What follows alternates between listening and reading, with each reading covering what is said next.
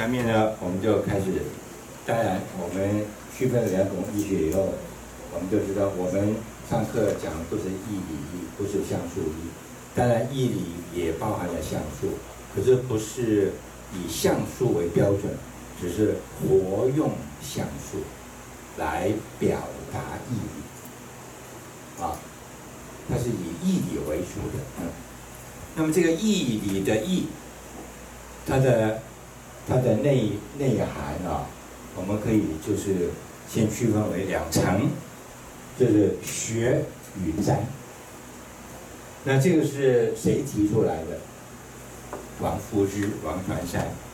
好，那个交代给各位交代，我的义，我的义学是是呃依据的是就是传山啊。这个王传山在解义上啊，就在就在义的义纯儒家的义啊里边啊，他可以说是最宏深，对对义义学也有很重要的呃独特的见解啊。那我们就提出两个最重要的，第一个他认为。这个乾跟坤，它不是两两个不相干的元素，而是呢相即而为一体的。那么这个精神叫做永远不离实存，啊，那传下的话就是说叫做乾坤并健。健就是力了啊，并健就是并力啊，乾坤并健而竭力。这个竭不是快速的意思，而是当下电光石火啊。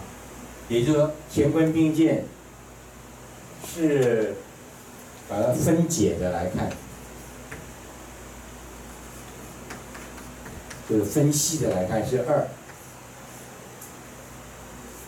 但他们两者啊是是地位是相当的。虽然就价值来讲，钱是坤的本，可就存在来讲，坤又是钱的本。啊，我把它衍生出现代化，就是精神是物质的意义根源，但是物质是精神的存在基础。用传上的话来讲，说好吧，一般来讲是钱是坤的本，但是坤是末，钱是本。而他说，本大末也不小，都是都是大啊。竭力是就它的实存而言，竭就是当下。乾跟坤呢，就理来讲是两个，分为二理，就两种原理。一个是创造性原理叫乾，结构性原理叫坤。就那个抽象的理论世界而言，乾坤是二，但就生命的真实存在而言，简称为实存，它们是一。乾坤不是二，乾坤是一。啊，好，理论上面呢的乾坤二元，乾元跟坤元，回到实存生命的是人是一体，当下是一体。这个这个节就是当下，当下就是那个时那个机啊，那就是生命唯一的。的的真实存在，生命只存在于眼前当下现在，啊，所以叫二而一，一而二，啊，这是很重要的，很重要的点出整个的易学，整个的易理学，整个的儒学，我用现代话来讲，叫永远不离实存，所有的理论所有的概念，都是由生命的当下实存抽离出来。抽离出来以后，还是要放回到实存。永远不要忘记，道是那个当下的实存。啊，这是他第一个很重要的易学的见解。第二个呢，就是认为一个卦哈，不是只有六个爻，有六个爻不问阴阳，只问出二三四五上来讲，叫爻位。爻的位置呢，有六个位。但是传言说不，一个完整的卦有十二个位，他称为十二位。那个一般说一个一个一卦就是六位了，哪来十二个位呢？他说有六个位显在面上，有六个位藏在背后。啊，十二位半显半。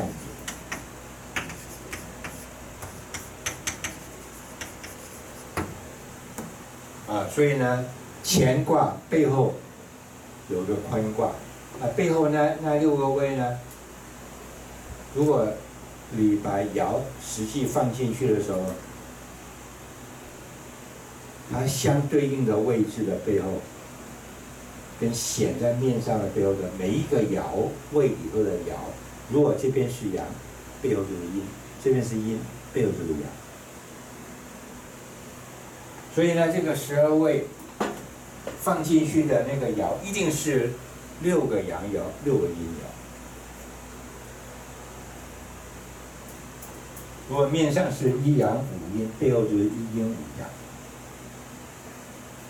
前面是阳阴阴阴阴阴，背后就是阴阳阳阳阳阳。所以呢，如果表面显出来是一个阳阴阴阴阴阴的复卦。背后就是一个阴阳阳阳阳阳的构卦，这个叫做什么相错，错综复杂的错的关系啊。好，这个是传上最重要的在易学上面很独特的见解。其实这这个这个十二位半隐分也是指的完整的时辰。是由相错的人和卦呢构成，加起来各有六六爻，六爻里边当然有阴有阳，有时候阳多阴少，有阴多阳少，有时候阴阳各三都可以。但是呢，两个加起来一定是六个阳爻，六个阴爻，这才是完整的实存。哎，也可以呼应我们现在说。我们的基因里头有隐性基因，有显性基因。为什么呢？你是黑头发，因为黑头发是显性基因。有没有别的颜色的头发的因子有啊？在里边。啊，那得要父母都是那个隐性因子，它才会显出来。如果是一个是显性，一个是隐性，一定是。表现出那个显性基因，啊，哎，可以跟现代的这个生物学理念可以呼应哦，啊，同样的，我们有表现出来的性情禀赋才能，也有藏在生命底层的性情禀赋才能，所以，所以呢，这个人到中年啊，常会刚柔翻转。啊，男性一般来讲比较刚强，呃，结果中年以后呢，呃，男人常常啊，呃，比较比较感情丰富，有时候还爱哭啊，对不对？有时候婆婆妈妈。女性一般来讲阴柔，中年以后呢，翻转，变很刚强，好管人，是。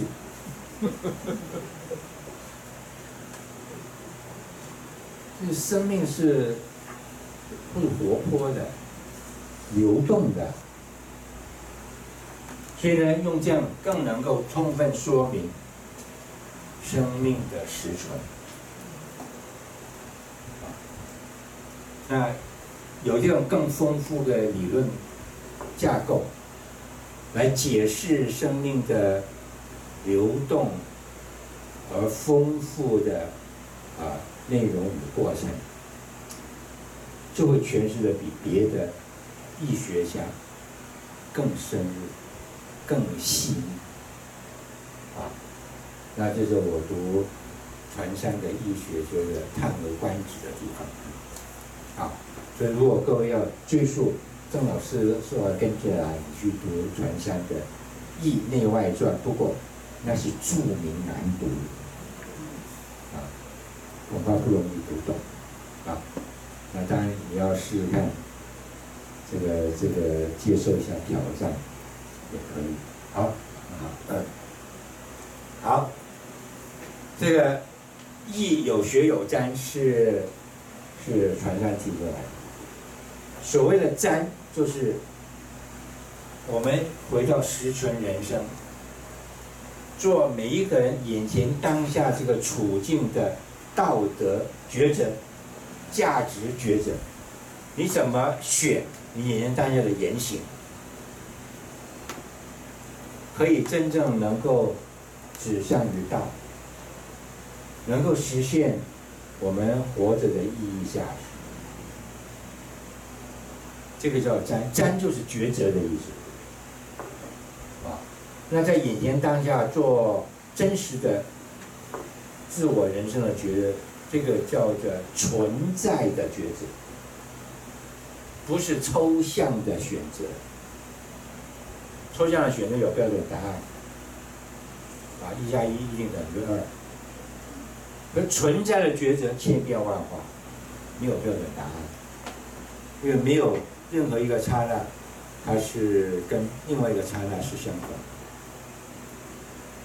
啊，所以我们的存在的抉择也是只用一次。啊，这个不同的存在的情境，它它的抉择看起来很可能是相反。所以孟子有说。呃，他的学生问他嘛，冷眼旁观老师，你你你你在那个齐的时候，齐军送你了一百亿，你你没有接受，啊，这但在送的时候呢，呃，送你五十亿你受了，在在削的时候送你七十亿，啊，你也受了。你前日的不受是今日的受就就错了。你今日的呃这个这个对那以前的说，你总有一次是错了。孟子说都对，都对，为什么？此一时也，彼一时也。就我们前面说的那个时，那个机，都是独一无二。在不同的时机有不同的做法，当然你可以事后。给他做一个解释或者说明，啊，那就是每一个状况，你你有没有一个合理的说辞啊？啊，在送的时候，我将有远行啊，呃，送我路费啊，合理的接受；在削的时候呢，呃，因为有安全的问题，啊，他送我前去购购置一些这个安全设备，合理啊。在骑的时候没有任何理由啊，没有任何理由要送我钱，什么意思啊？收买我？哪有君子可以被收买的？我更不能接受啊！啊，这就叫存在的抉择啊，这就称为存在的抉择，梦称为权衡啊。那还有一个存在的抉择。一个就是说他缺钱，所以他就必须靠那个钱过活，他才拿。还有一个就是说，他那个时候不缺钱，他当然能够展现骨气了，这也是存在觉。存在的觉得很多，他刚刚举的只是两种，不是只有两种。如果真的没饭吃，他送你当然接受啊，也没问题啊。啊，如果我明明不不缺钱，你还送我钱，你什么意思？啊，这个不能说接受，所以呢，存在抉择那个理由非常非常的多，你总要找到一个合理的，连一个都找不到，不能接受，对不对？啊，好，这个叫占占这个存在的抉择。学呢，就是在一个虚拟情境中学习做抉择。占就是在真实情境中做那个呢，你没有办法重做的，因为人生的之路只走一遍，你不能这条路试试看，那条路试试看，比较下来的比较好，不行。真实人生只有一次，而在虚拟的世界呢，你可以一样一样的试，一样一样的试。那个叫模拟的情境，虚拟的情境，不是真实的情境。啊，学就是人为的设计一些模拟真实情境的情境，人为设计一些情境，来模拟呢真实的情境。但这个模拟啊，就没有办法。这个绝对的吻合，因为真实的情境呢，每一刹那独一无二，它大概只能就一些啊归纳起来比较常出现的情境，要一般我们会遇到的情境，好，那么来设计这样的一个情境，让我们在这边呢。做一些演练，比如叫学。那演练什么？纯粹是锻炼那个阳，不是锻炼那个阴。为什么？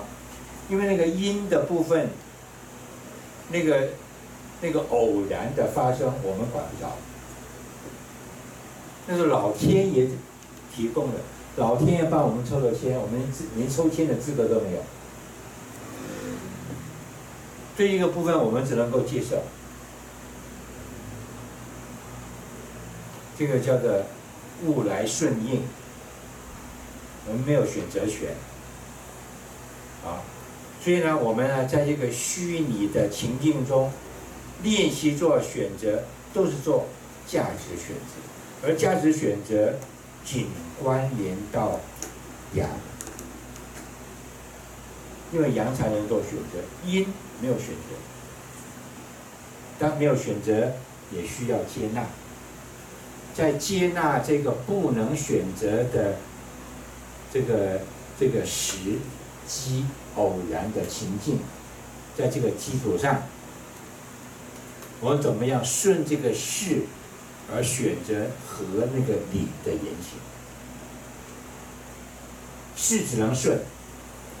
那顺了势以后呢，还有上下的选择。上下的选择就是阳来负责，就是我们的心灵来负责。因此呢，所有的这个虚拟的呃情境中，我们要在做练习的，做练习啊。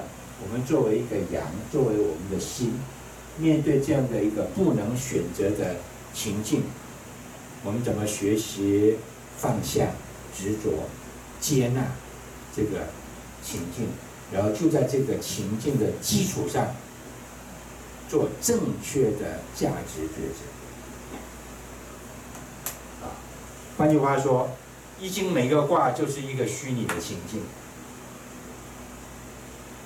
啊，那我们呢，在课堂上面，就是一个学的部分，不是占的部分哦。占的部分是每个人你自己的事，但怎么占呢？我们要做点练习，过来上课吧。一个卦一个卦的来练习。啊，设想如果我也处在这个情境，我应该怎么办？啊，于是呢，在一进在每个卦里头呢，就针对每个卦的状况提出一些建议，提出一些评判。啊，再怎么样，你就你就会走不通。你要怎么样才走得通？啊，所以在在易经的每个卦里面的所谓的四德啊，非常重要的就是那个亨啊，元亨利贞啊，啊，就那个占卜而言啊，大概最重要的就是个就是这个亨，就通不通嘛，亨就是通嘛，通还是不通？怎样才能够通？啊，通了才能够利。啊，那怎么样才能够立？才能够通？很真。啊，其实那个在在易经书在那个占卜书的阶段的时候呢，其实这个真是求真真问问卜的意思了，原只是大的意思了，真正有意思的，其实它是分跟地的。通不通，利不利，啊，到后来变变成那个，呃，哲学书以后呢，就变成四德啊。但是四德意思，我们今天先不谈，以后再说。好，好，在这边，船山引了《易系辞传》里边的《系辞传》分上篇跟下篇，啊。那这是《系辞传》上篇第二则，里头有两句话：呃，君子居则观其象而万其辞；动则观其变而万其哉。这个居就是没事儿的时候，平常没事儿的时候。那我们就可以从实存的生活中暂时抽离出来，进到一个抽象的空间，比如说教室、课堂、书本里，我们就视作这种学习跟演练。所以第一句说的是学，在这边就是观每一个卦的卦象。六十四卦，一卦一卦来演练啊。演练的时候呢，就要去啊认真的去啊观察啊每一个卦的卦象，卦象就是六卦卦。然后呢，每一个卦象。它会有附着附上一些文字，啊，就是叫辞，辞有卦辞，有爻辞，这个是易经最初有的部分，叫经的部分，也有后来人呢添上去的，包括有断辞，啊，有象辞，象辞有大象辞、小象辞。那每一卦下面就有这几个部分，啊，都称为词，都称为词啊。那这些词用来什么样呢？用来解释这个卦象，用来指点这个卦象的它的它的吉凶，它的得失。啊，那我们就要去玩味它为什么这样说。为什么这样指点？为什么这样诠释？啊，那道理在哪里？好，那我们就是没事儿的时候啊，来上课，从这边做一种虚拟实境的演练，啊，从这个演练当中，让我们的心有所悟，悟什么？悟我这一个心灵。在这样的情形中，你在这样做；在那样的情中，情中你在那样做，悟那个创造性的原理。好，动，动就是不是平常，居是静的，这是动的，动就是真的回到我们实存的情境。好，那粗糙点就是说，大家下课了，回家了。回到你真实实的生活情境，但是精细来讲，其实在课堂也是一个实存情境嘛。不过说的比较粗糙一点，比较好做一个对比。我们在课堂上比较倾向于是静态的，我们抽离了我们的生活，进到了一个理论的空间去学习这些道理。可是我们终要回到实实存的人生，这个时候要怎么观其变？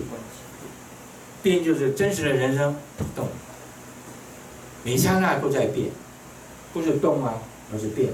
动是有轨迹的，叫做动。变是完全没有理由的变，对，就是变跟动的不一样，动还比较可以预测，预测它的根据它的轨迹，变是完全不能预测，这个叫变，啊，我们四川的变脸，一刹那就整个变掉了，是翻盘的啊，这叫变，那我们就是要要能够去。掌握这个观不是那种静态的有个对象的观察哦。这个时候那个卦象在我们的对面，我们可以去观察这个啊，你从容的看这个卦象，一个六画卦到底是怎么样的状况。哎，动的时候是电光石火。你就在这一刹那中立刻要做选择，没有办法让你从容左试一试，右试一试，比较比较，没有这回事。所以呢，这个观呢，就不是那种这个有个对象的观察的观哦，而是身处其中，我们不妨理解为掌握，掌握。这个掌握呢，叫做知机啊。这个知不是知道的知哦，知道就是有个对象的，那个叫叫叫做认知。这个知是首先是个参与的意思啊，我们在我们的课上经常会提到，要参与，怎么个参与？主导性的参与，参与去主导。主导就决定我的人生的意义价值。那怎么主导？创造性的主导。所以只有参与意、主导意、创造意，综合起来就有实践的意思。我们要知那些，就掌握眼前当下电光石火这一期哦。好，要观其变。要敏锐掌握每一个眼前当下，而万其瞻，啊，而而这个万在这边就是揣摩的意思，揣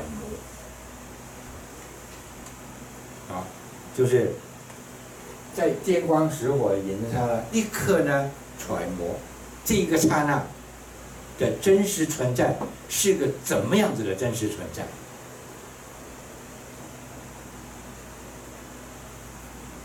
在这边啊，我们不妨把理解为感应。这个关系掌握，掌握这个电光石，我就不要湿那个机，要知那个机，怎么知？就在这一刹里头呢，感应了。我存在的这个情境的全体，不要知己不知彼，不要只管自己蒙着头去干，马上感应这个情境里头的每一个元素，每一个存在的事物，都有他们的某种讯息，都有他们某种的作用。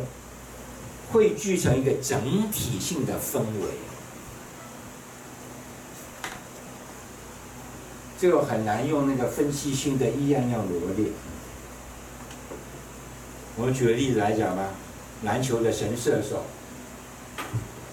他并不是经由呃呃分析这个球的重量，或者手臂的力，啊力量，然后呢这个距离，啊方向，啊还有这个什么风啊，还有什么等等的影响，啊综得到一个综合数数据，我才决定我用多少力量，往哪个方向，怎么把球推过去，没那么啰嗦。他看以后球感了，就这种空性。我们只能说他球感很好，手感很好。有时候一一一个篮球员，他这手感很好的时候，怎么投怎么进呢？他的手感不好是，怎么投怎么不进？所谓的球感、手感什么意思？就是对当时候的处境的整体性的感应，整体性的感应。这边叫万。啊，